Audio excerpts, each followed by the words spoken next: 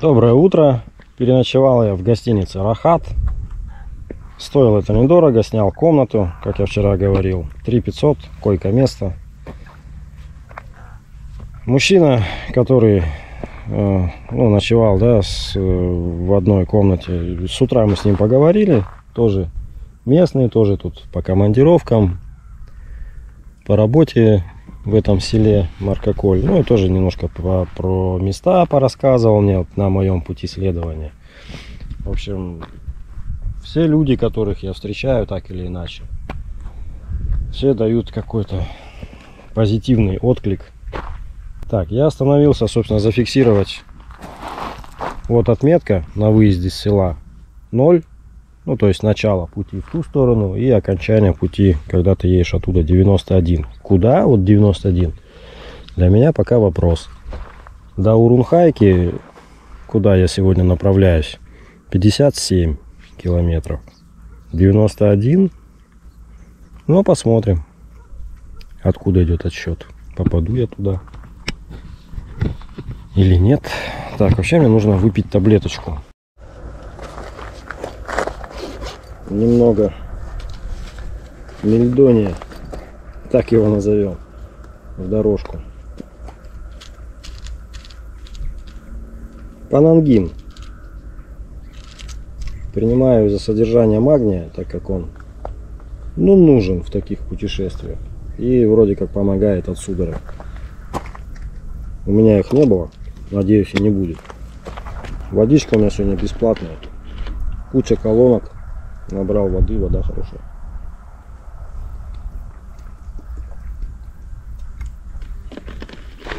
Сразу на выезде из села пошла грунтовая дорога. Ну и все, грунты теперь будут около 100 километров. Ну вот, видимо, как на той, на том столбике написано было 90 там сколько один. Ну все, вот они, испытания для этого велосипеда для меня и моей задницы. Наконец-то мне пригодятся вот эти мои трекинговые, так скажем, ботинки. Я с собой взял только их, я в них поехал. Не стал брать там какую-то вторую, комфортную пару обуви. Кроссовки, в которых я накатал 4000 километров за прошлый, за этот сезон. Какие-то сланцы. Смотришь, вот людей тоже едут на велосипеде, берут там велотуфли, едет в велотуфлях, которые, ну, такие встегиваются. У меня столько моментов уже было, где я просто даже с этих педалей-то еле успевал соскакивать. Ну, вот особенно по таким дорогам или нагруженном велосипеде. Велотуфли хорошо, когда ты едешь налегке, на легком велосипеде, по городу, может быть. Вот, а тут по незнакомым дорогам, мне кажется, это прям нужно быть очень подготовленным. В общем, проблема-то в том, что, во-первых, их некуда было положить, вести их просто с собой сверху на сумки повесить, ну, не знаю, так ли они мне нужны. Я уж потерплю в жару и в этих ботинках. Ничего такого страшного. О да, вот еще одна прелесть грунтовых дорог вот это вот пылище от встречных машин, особенно от грузовиков.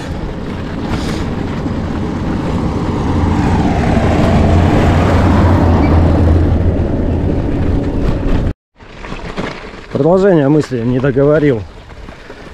Люди, которые едут в велотуфлях, ну или просто в какой-то обуви, в которой они едут на велосипеде, и потом такая обувь, типа в лагере походить, когда уже палатку поставил.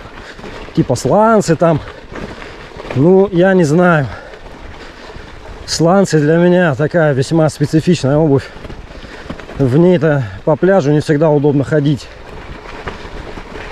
А так, по траве, по мокрой, по высокой. Земля, бывают всякие там какахи лежат.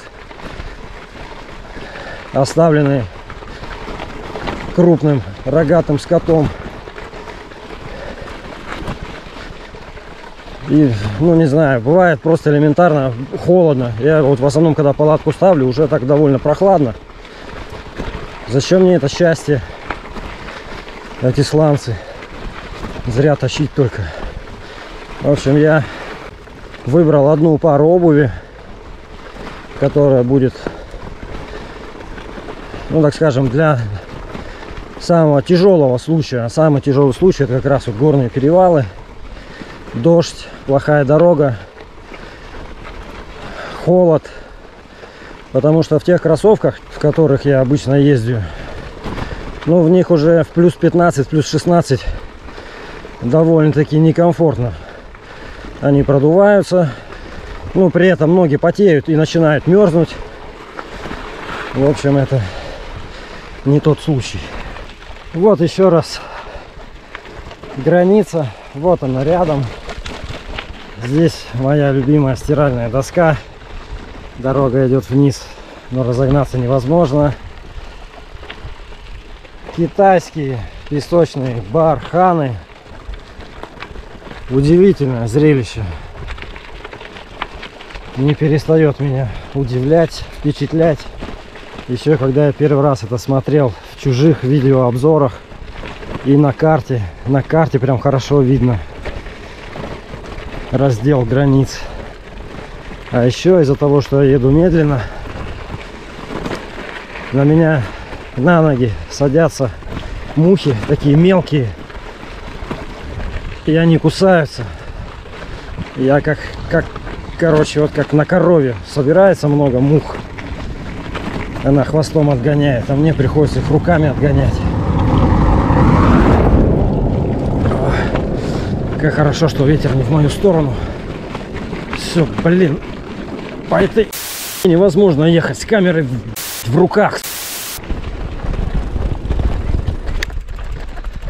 Немножко хотел рассказать про характеристики велосипеда. Где-то там в ранних видео я говорил уже, что вот так он, как ну, в стоке, да, ничего не менял. Я имею в виду трансмиссию.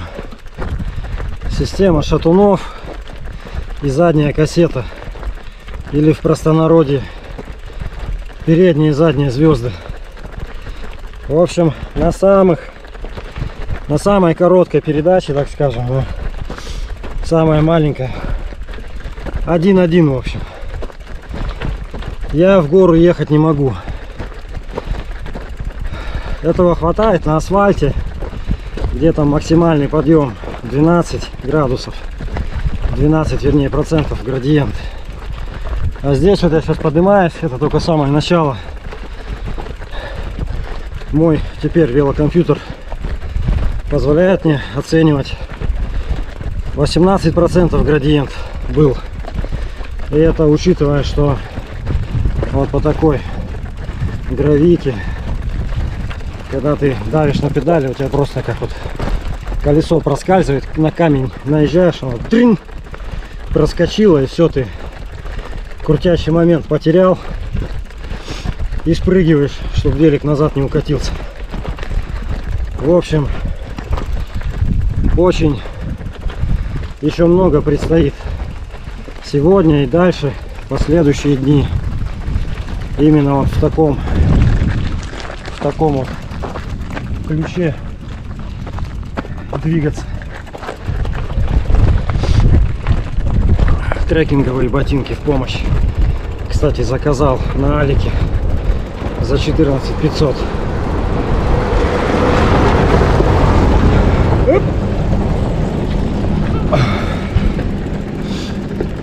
14 500 в Караганде что можно купить из более-менее такого? Ну, тысяч, наверное, 50 придется отдать. В общем, конечно, они еще у меня только тоже в самом начале обкатки. Но пока я прям доволен. Про трансмиссию не договорил. То есть для таких вот путешествий я, конечно, понимал, что мне будет недостаточно этих звезд ну, закупать, экспериментировать там я уже не хотел, да и что-то времени, средства поджимали. общем, передняя система у меня 48-32, две звезды. И сзади кассета на 10 скоростей от 11 до 33. То есть вот минимальная, это спереди 32, сзади 33. Ну, грубо один к одному. Одно вращение педали, одно вращение заднего колеса. Этого недостаточно. Нужен коэффициент 0,8-0,7, наверное. Короче, на будущие такие путешествия, как бы по городу гонять-то вообще нормально. Едешь как на шоссейнике. А сейчас, ну, как бы для специально для путешествий я, наверное, прикуплю другую систему. Может быть, это будет вообще одна звезда такого меньшего размера. Типа там, пусть те же 32, там 36. И заднюю кассету с более пониженной передачей. Больше, чем 33. Может быть 42 даже, что-то такое. Короче, надо почитать, посчитать, подумать. Купить и все. Это все меняется, в принципе, за 15 минут. Имея определенный инструмент и навык.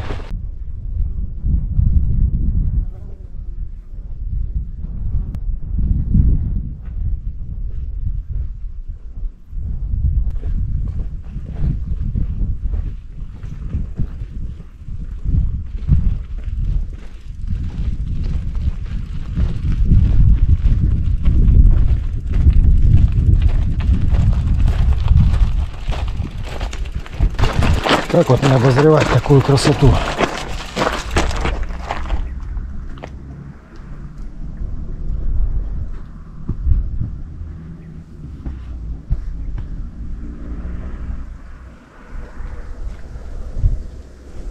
Я иду пешком по этому перевалу, по этому подъему. Тащу велик. И вот ни разу не жалею. Так хорошо здесь, тихо. Иногда, конечно, вот машины проезжают, пылят. Так классно. Проходил, смотрю, что-то внизу шелестит. А тут вот такой вот обрыв. Шиповник вот стоит черный. Думал набрать немного для вечернего чая. Но я туда не полезу. Одно неловкое движение и тут костей не соберешь. Кстати, поднялся вот тысяча метров над уровнем моря. И уже чуть-чуть, но заметно ветерок такой попрохладнее стал. Я даже очки снял. Хочу все своими глазами увидеть. Новенькие китайские трактора на тест-драйве на перевале мраморный едут своим ходом в Урунхайку работать на полях.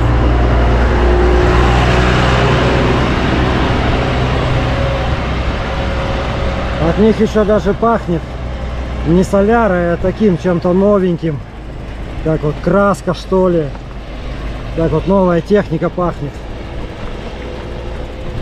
Еще даже новой резиной, мне кажется, пахнет. Интересно, какой там градиент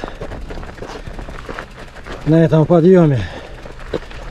Трактора он эти мало-мало карабкаются. Ну и я должен.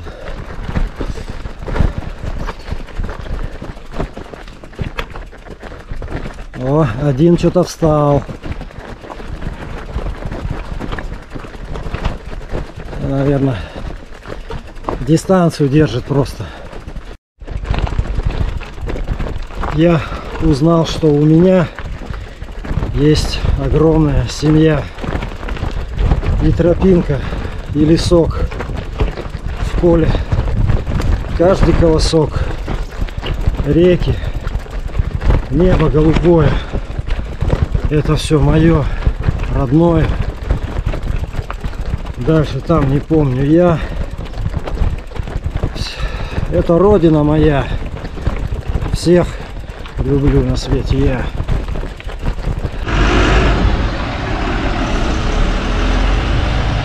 Вот они, красавцы, поехали. Подошел сейчас тоже с ними немножко поразговаривал. Сам на этот раз. Приезжай, говорит, к нам в Урухайку. Есть музей, есть в озере, говорит, может даже искупаешься.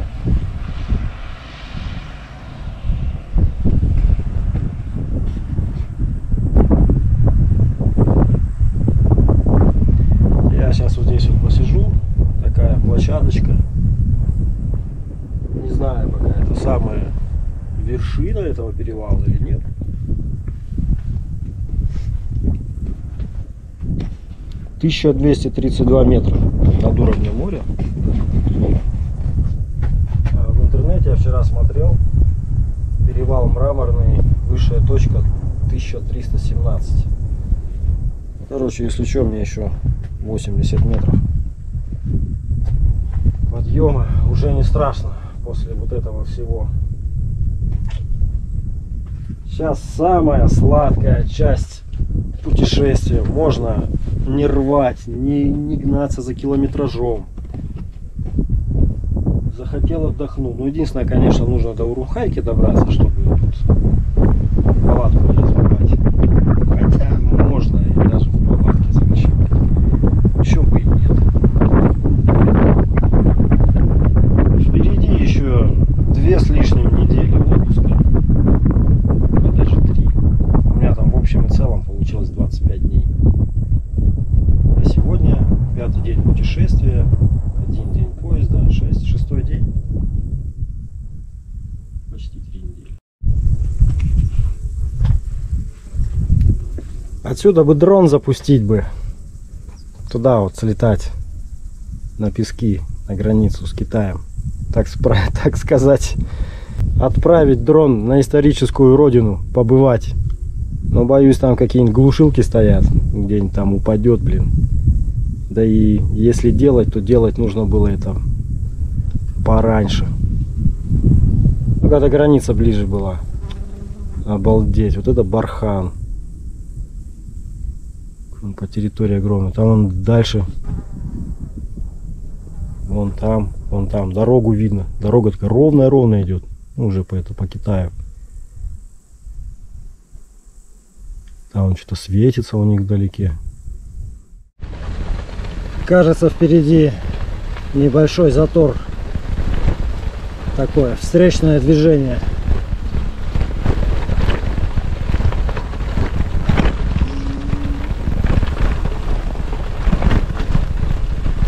Будем держаться левой полосы.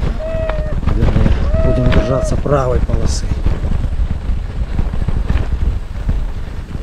Привет, привет. Коровки. Спасибо. Салам алейкум.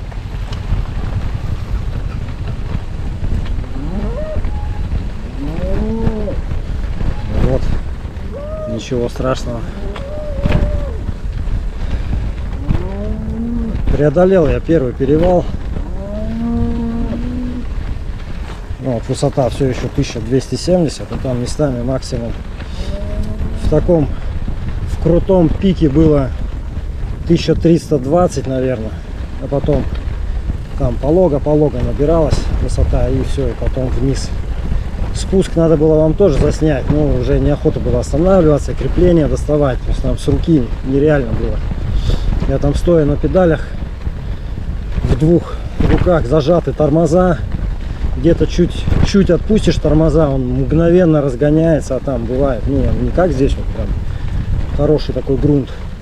Там просто камни в навалку, и у тебя как бы большая вероятность. Ну, руль прям хорошо надо крепко в руках держать, чтобы его не вырвало. Где-то подтормаживать, где-то объезжать. В общем, такой опасный участок. Но это был самый, наверное, простой перевал. Посмотрим, что будет впереди. Простой, я имею в виду, что по высоте. Дальше будет еще Алатайский и перевал Бурхат. Это уже на выезде, на Катон. Бурхат, по-моему, там то ли 2000, то ли 2100, что-то такое. Ну, надо сравнивать же не высоту над уровнем моря, а, а, как сказать, разницу высот у подножия перевала, да, то есть какой высоты ты начинаешь, там, условно, если ты начал с полутора тысяч, то там 2-200, ну, это не так уж и много.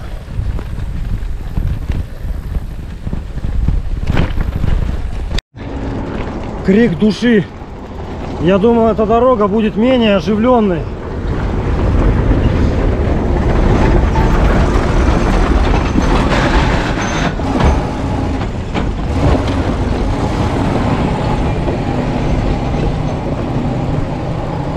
Два Урала, два КАМАЗа за последние минут 5-10 груженные сеном. Вы представляете, это вот дом просто едет, какую кучу пыли он поднимает. Все бы ничего, но я уже устал пылью дышать. Ветер в спину дует, и как бы от пыли деться некуда. Там ни слева, ни справа, там. Без разницы, где ты идешь. Они едут просто бесконечно. Да, и несмотря на то, что я проехал перевал, дорога продолжает идти вверх. Немножко там покайфовал, несколько километров. И снова толкаю свой велосипед с сумками. Уже почти 1400 высота. Вообще за сегодня набор высоты общий, да, со всеми там подъемами, спусками 950. Столько же я набрал вчера за весь день. За 190 километров, которые я проехал. А тут вот за полдня, за там меньше 30 километров. В общем, тут это, нервничаю по, чуть-чуть. Хочется уже хоть медленно, но ехать. О боже, все еще вверх. Село Акжайлау, расположенное между, получается, селами Маркоколь и Урунхайка. Отсюда до Урунхайки где-то 24 километра. Вот хочу раздобыть здесь воды. Но я про магазин молчу. Колоночку бы найти, пополнить запас. А то я там на перевале много выпил.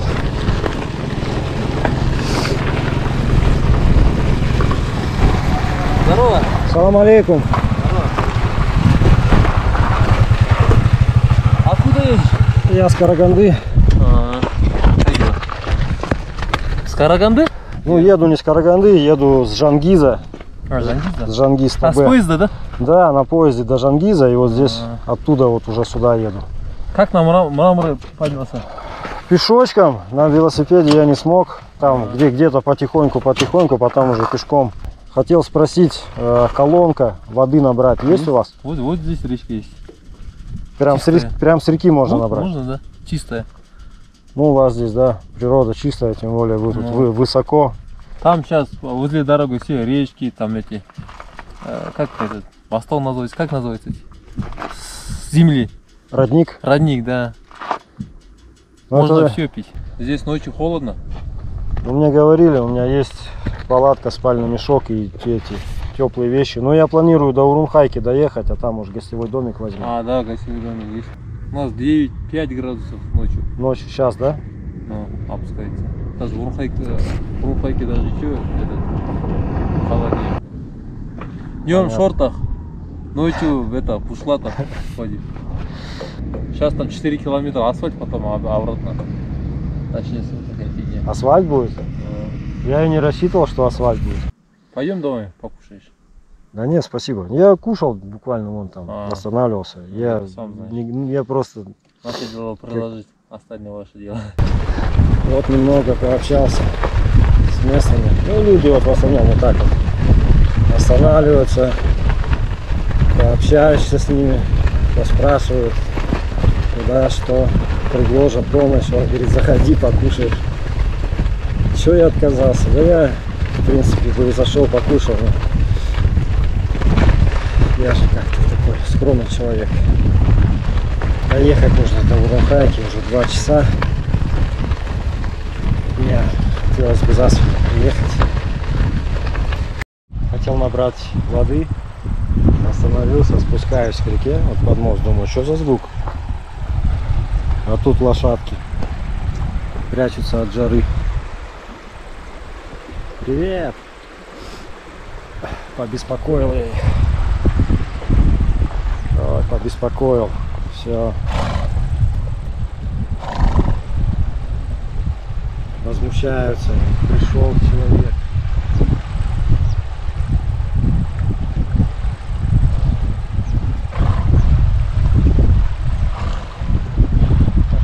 На меня ругаются.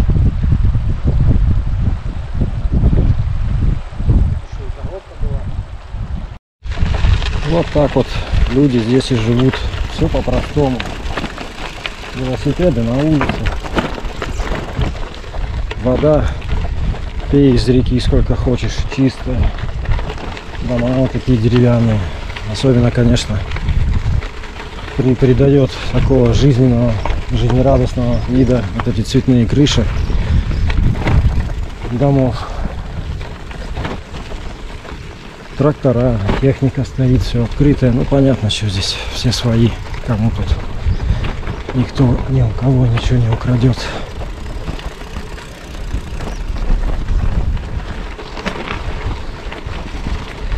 Едем дальше. А, да, еще вот встретил двух ребят, которые меня на мотоцикле догнали. Сказали, впереди будет асфальт. Не обманули. Да из чего бы. Асфальт. Кайфанем немного. Эх, хорошо. Ой, какой кайф.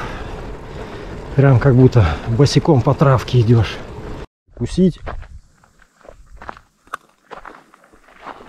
Потому что с этим перевалом велокомпьютер, конечно, не покажет. Но калорий я потратил прям дофига. Вопреки моим ожиданиям, наверное, я плохо карту смотрел. Перевал это не означает, что ты на него поднялся и потом такой будешь спускаться. Я там спустился чуть и раз опять все время ну, поднимаюсь, но такой очень пологий подъем. А сейчас уже высота 1500, полторы тысячи метров над уровнем моря. Чувствую, я вот чувство голода не чувствую, а чувствую энергии нет в организме. То есть угля, углеводов, как говорят спортсмены. Пожую немножко. Орехи, конечно, это не совсем углеводы. Но что-то надо перекусить, попить. Тут вот сейчас будет такой спуск. Хочу поснимать немного. Вон там. Перезарядил аккумулятор. Высадил, короче, один. Вчера не было возможности зарядить нормально. Вчера подзарядил телефон. Зарядил велокомп у меня, короче. Почти разрядился. Я уже говорил, там зарядка одна была. Две кровати. Мужчина, короче, первый, который занял, он здесь вот у него было две розетки, а у моей кровати не было розетки. Я там в общую комнату такая, типа чайная или коридор, там кинул и уснул. Уже потом проснулся уже, что, телефон поставил на зарядку, подзарядил немного. Ну, у меня с собой три аккумулятора заряженных. Ну и сейчас, в принципе, в Рунхайке, если будет домик, заряжу все девайсы. Ну, Какая-то машина едет, будет пылить. Ну, вот таким подкормом тоже питаюсь. Сухие, всякие сухие киви, сухие фруктики. Киви, манго мне нравится. Прям манго вообще огонь. Что еще я пробовал? Бананы, дыня. Ну так себе, на любителя. Банан уж лучше тогда просто банан съесть. Ну это чтобы вы понимали, это просто такой дневной перекус по ходу движения. Потому что если сейчас сесть и прям налопаться чего-то, то будет очень тяжело ехать. Нужно будет отдыхать час после обеда. Вон он, ксеноморф, синовоз едет. Ну, такой подкорм. Батончики шоколадные у меня есть. Но они от жары раскисли. И есть их в таком виде. Прям совершенно не хочется.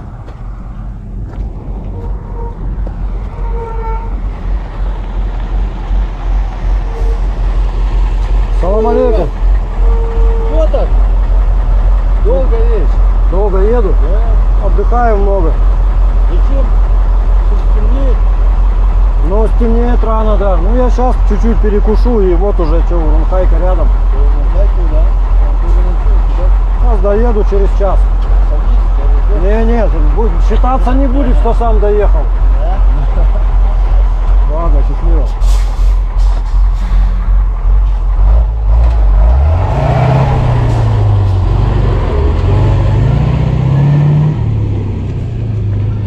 Получил замечание.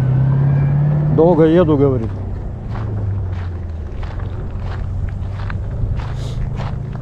Надо действительно выдвигаться уже.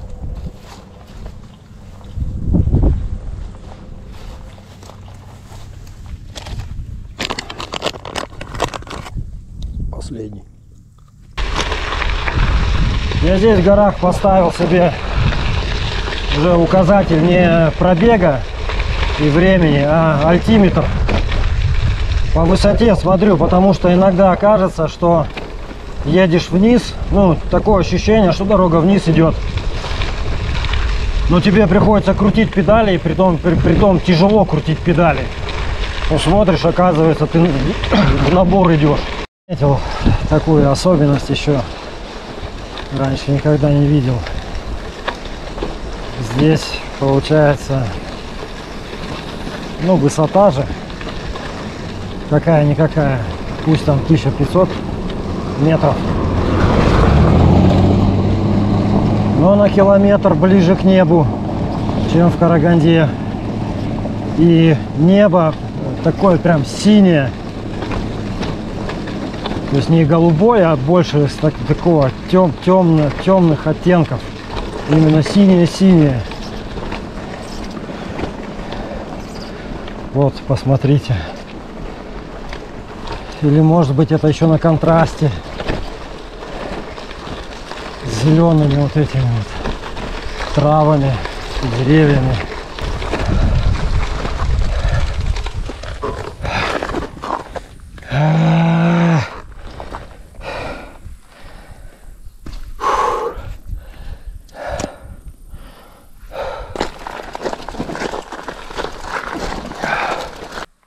Что я записывал сейчас всю дорогу? Я записывал спуск, а я, оказывается, не нажал.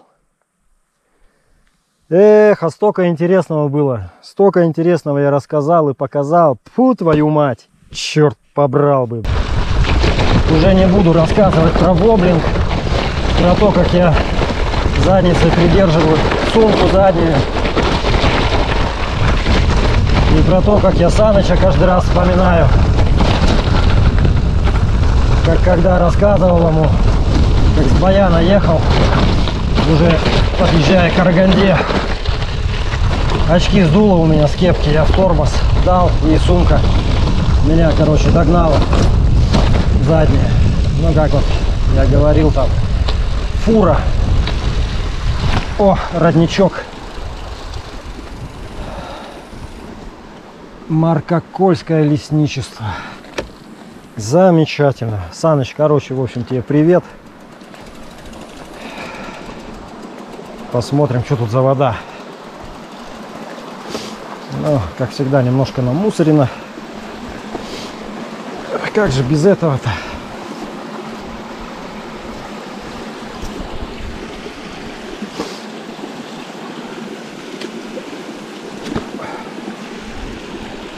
Ну-ка. Сейчас проверим, что за водица.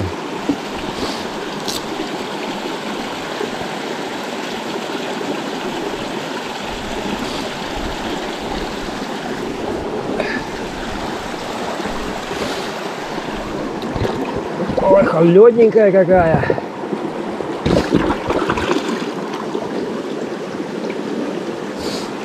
Ну, что там? Обидно то, что я столько рассказывал. И про родник, и про все. Да, шмурдяк плавает. Ладно, не буду здесь тоже набирать. Чистая, нечистая, черт ее знает.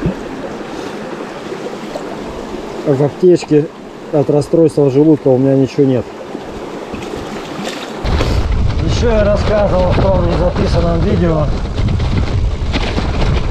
что как дается тяжело каждая сотня метров набора высоты и как легко ее слить на таких вот спусках. Причем размениваешь не на скорость, высоту. Ну, просто, конечно, педали не крутишь, но тем не менее ты спускаешься на тормозах, приходится тормоза жечь.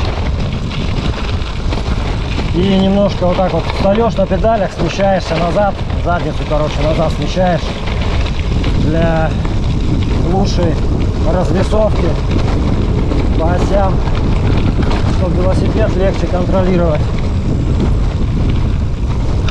Если наоборот вперед наклониться и дать в тормоз, ну вы понимаете, да?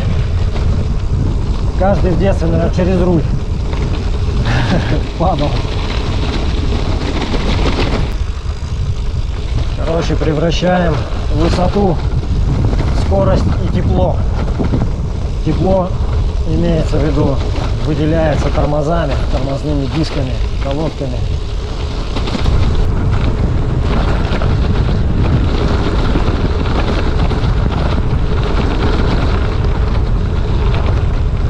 Ох, какой камень я поймал! Откуда он взялся? Черт, что-то без очков тяжело ехать. Хочется, конечно, и природу посмотреть, но на таких спусках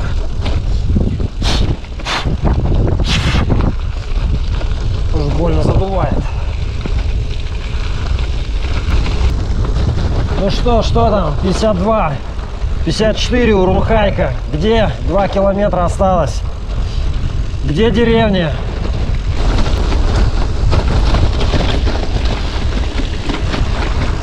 Урунхайка, речка. Река Солоная.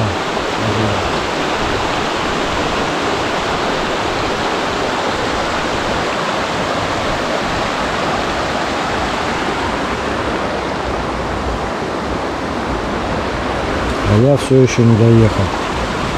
Вон она показалась наконец. Урумхайка.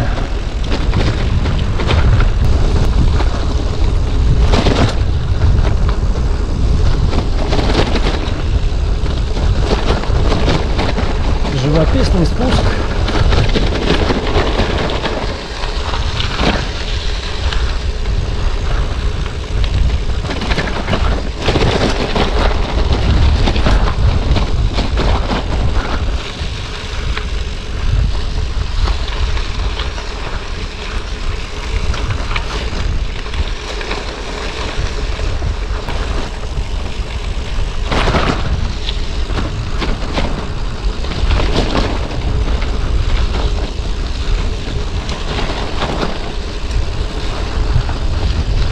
О, гостевой домик. Надо сфотографировать.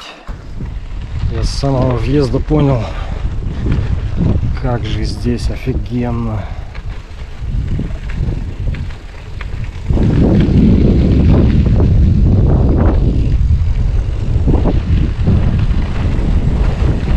Кафе, кафе.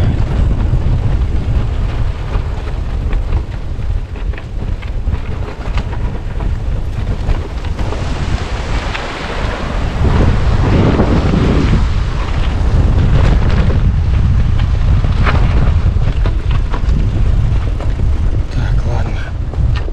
Снимать это, конечно, хорошо. Надо, бы мне сначала гостевой домик найти. Где-то он, по-моему, вон там. Вон озеро. Озеро Маркаковой. Сегодня мы на него посмотрим еще.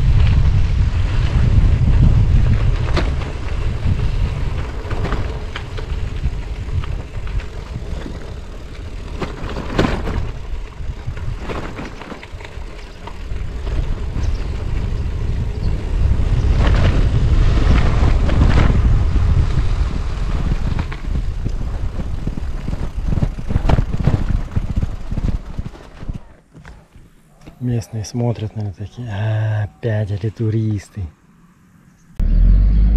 Ну, как вам вид? Смотрите.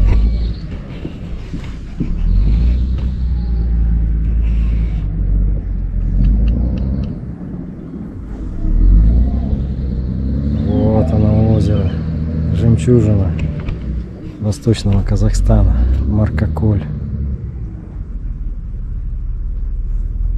Я что-то даже не представлял, что он такое огромное.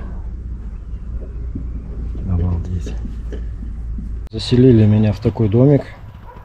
Туалет на улице. Это баня. Вот гостевой домик. Здесь я пока один. Никого нет. Такая вот небольшая терраса.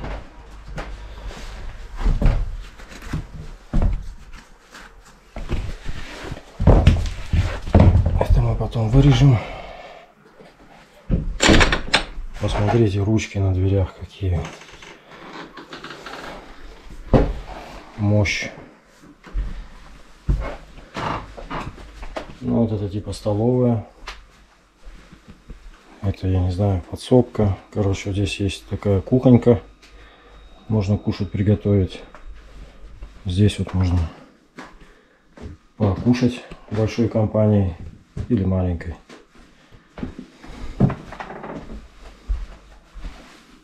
Дальше идут номера. Вот это мой. Здесь я буду один сегодня. А? Как вам? Круто? Посмотрите.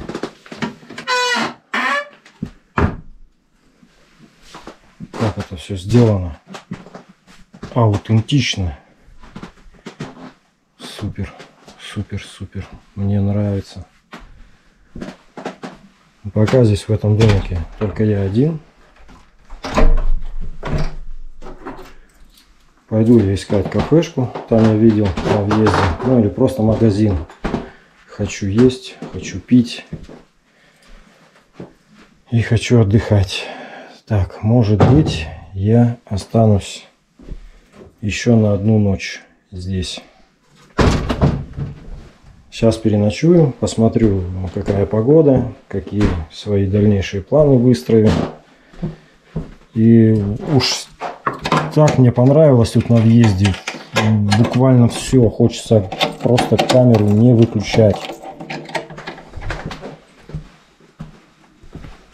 Прям все круто. Это я еще на озере не был. А завтра с утра, что там, час-два и снова в путь. Не знаю, мне кажется, я здесь все-таки заночую. Еще один день. Я решил воспользоваться кухонькой. Сначала думал газовую горелку развести. Я сходил, вкусно покушал в кафе Диас, по называется. Оно было самое первое на въезде. Это если ехать с моей стороны, как я ехал со стороны Маркополя. Так, это все я хотел помыть. Маккофе Стронг. Такое, конечно, лучше утром, наверное. Я, в общем, в этом кафе взял манты, взял салат. Салат был просто бесподобный. Салат, э, помидоры, огурцы, перец, лучок порезано. Я прям солью так хорошо посыпал. Водно-солевой баланс нарушен немного. Поэтому соли хочется прям чего-нибудь соленого хочется постоянно. Дома в Караганде, когда я устраиваю такие заезды, типа в Батакару, я приезжаю, и у меня дома обычно стоит такая 0,7 или литровая баночка маринованных черри помидоров. Я прям открываю, вот этот весь рассол выпиваю и помидорчики съедаю потихоньку. Прям вот это вот то, что нужно. Так, три в одном, по идее сахарок там уже есть. Ну, розовая кружка, розовый чайник. Думаю, ничего страшного. Зато свою посуду не доставать. Я с велика снял все сумки, не знаю зачем занес их в номер. Можно было этого не делать. Но я думаю, что термобелье мне пригодится сегодня. Я потому что заходил в кафе солнышко светило еще. Было тепло, а назад шел солнце село. И сразу, сразу холодно становится. Прям, прям капец как. Сумки снял, зашел и вот хочу и хочу выпить еще горячего кофе.